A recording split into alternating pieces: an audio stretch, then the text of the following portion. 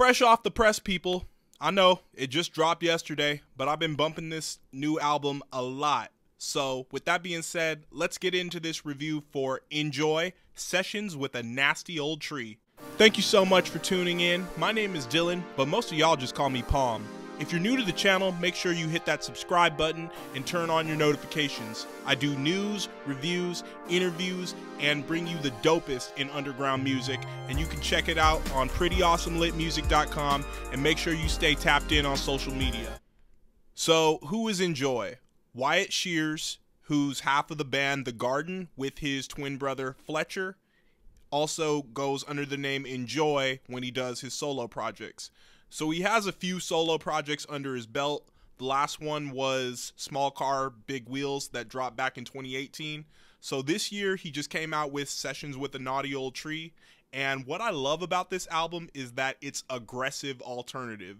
There's lots of synths, there's lots of tempo changes that totally switch the song from one genre of music to another.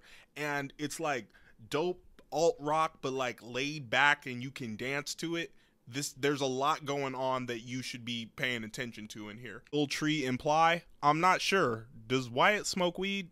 I'm not sure either. But who knows? Who cares? Anyway, off the dribble, first track and the single Vape Smoke. Love this song because there's just such a groove to it. I love those keys and there's a very electronic nature about this song and very much of the album but this just sets the tone right because this is kind of like that type of indie alternative that you could like play at a house party in the hood it's actually kind of sort of reminds me of like early N.E.R.D. shit so love that track a lot um under the winking coconut tree featuring Divino Niño um, I actually wasn't feeling that one. However, my collections, I really like enjoy singing on that one. It's a cool vibe all throughout, and it's you know you could like kind of swing and kick your feet too.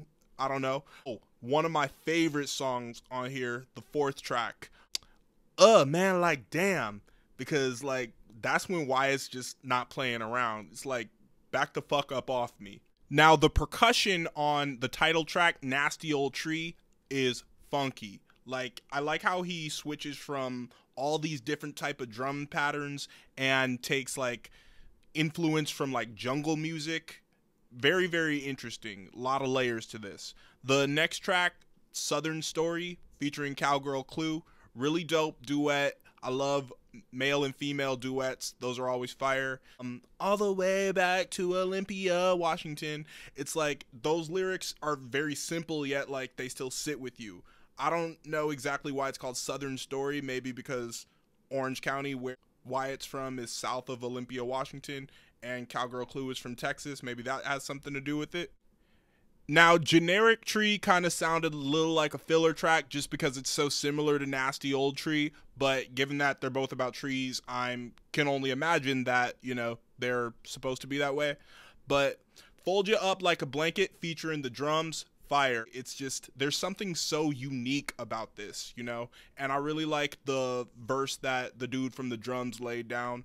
It's fire. Now, one of my favorite songs off here is the closing track, The Scariest House I've Ever Seen. I love that synth all throughout. I love all the 808s and that G Funk tempo switch at the end is just something else, man. Like I'm telling you, enjoy and puzzle are really on some next level shit. To be honest with you, that this collective of musicians, I'm talking about The Garden, Slater, Cowgirl Clue, they're really some of the most underrated talent I think is out there. Like I really view Vada Vada as the future of alternative and holding some of the most brightest potential having musicians out right now. So with that being said, man, enjoy sessions with a nasty old tree, you know, really hit all the right bases for me and I'm feeling this one. Definitely one of my favorite alternative albums to drop this year. So, what do you think? I know I got a lot of Vada Vada fans in the palm tree. So, let me know. Tap in. Peace, love, palm.